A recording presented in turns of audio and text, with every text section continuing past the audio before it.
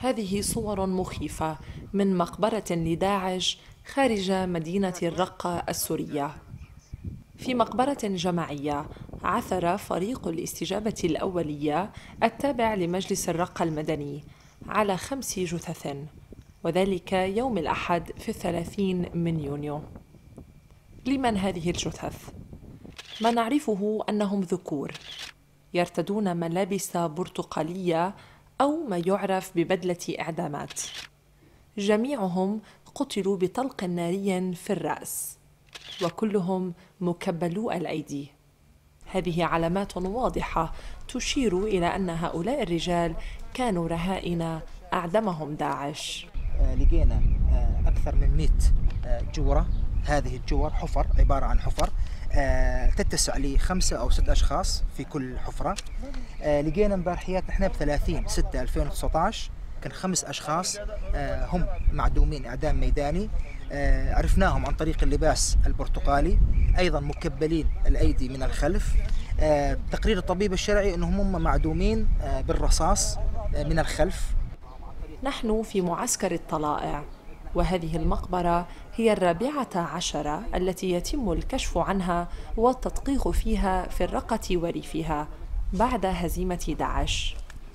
ولكنها المرة الأولى هنا في مقبرة الطلائع التي يجد فيها فريق البحث أجسادا مرتدية بدلات برتقالية اللون. التفاصيل صراحة مي ثابتة آه، ما نقدر نعطي لكن هم مهمين. ليش مهمين؟ لأنه نحن نعرف سابقا نحن عاصرنا المرحلة السابقة.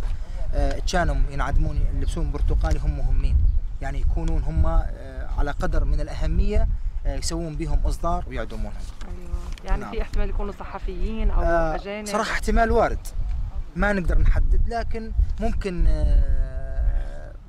بعثات دبلوماسية أو ممكن صحافة أو يعني كل الاحتمالات مفتوحة.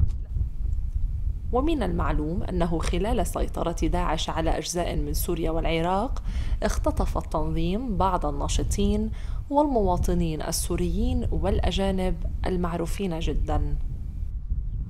قبل عام ونصف العام بدأ مجلس الرقة المدني المهمة الصعبة المتعلقة بالبحث والتنقيب في المقابر التي خلفها داعش لمعرفة هوية الضحايا فيها.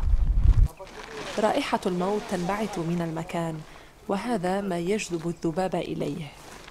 عثر حتى اليوم على أربعة آلاف وستمائة جثة في الرقة وريفها وتم التعرف فقط على هوية 800 شخص من قبل عائلاتهم.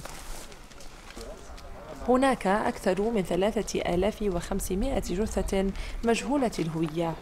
وتفتقر السلطات المحلية لمختبرات طبية لفحص الدي إن اي لتحديد هويتهم.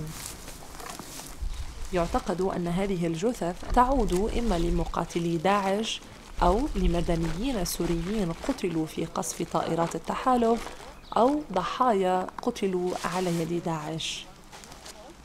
وبما أن مجلس الرقة المدني لا يحصل على أي مساعدة دولية لإجراء اختبارات الحمض النووي سيكون من الصعب للغاية تحديد هوية الأشخاص الذين دفنوا في هذه المقابر. جينا موسى أخبار الآن الرقة.